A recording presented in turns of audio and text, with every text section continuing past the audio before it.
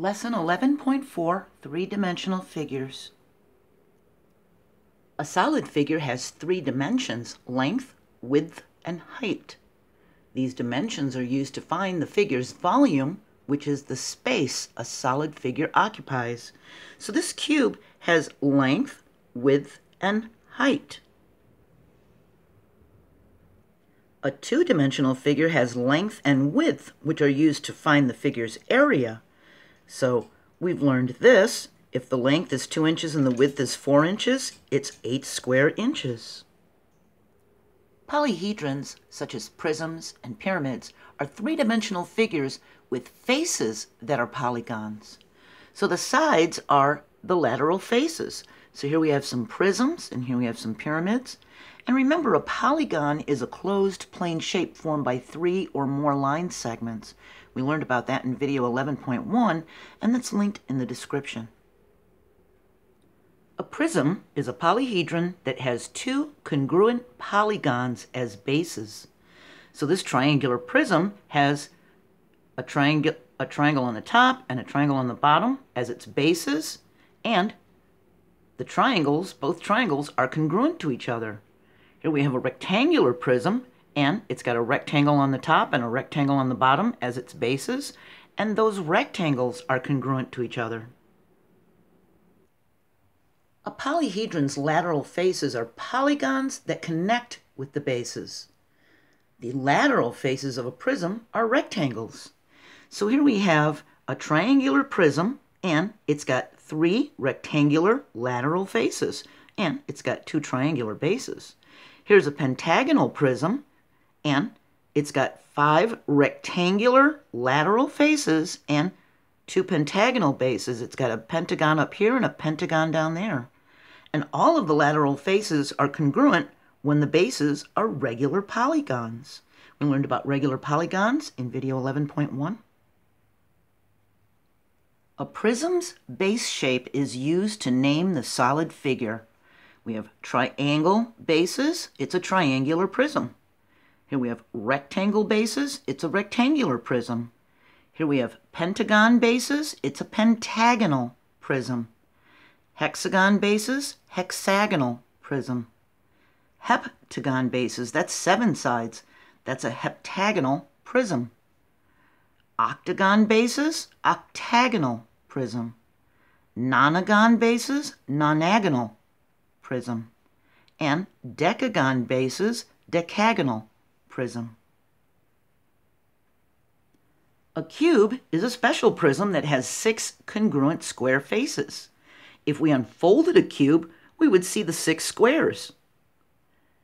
And since a square is a rectangle, a cube is also a rectangular prism. When we unfold a 3D shape, it's called a net.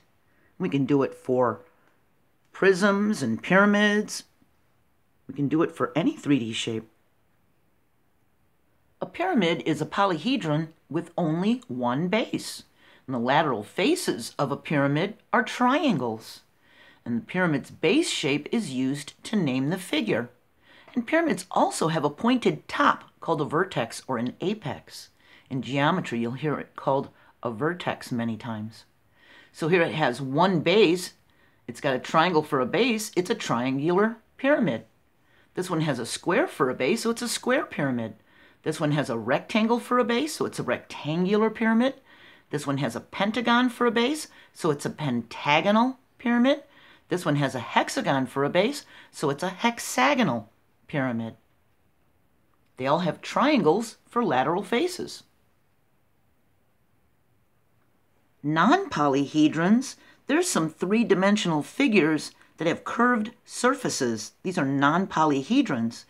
These solid figures are not polyhedrons. We have a cone. It's got a circular base, a circle for a base, and one curved surface going around. A cylinder has two congruent circular bases and one curved surface going around. And a sphere has no bases. It's just one curved surface. These are not polyhedrons. But they are three-dimensional figures. They just have curved surfaces. So polyhedrons are three-dimensional figures with lateral faces that are polygons, and non-polyhedrons have curved surfaces.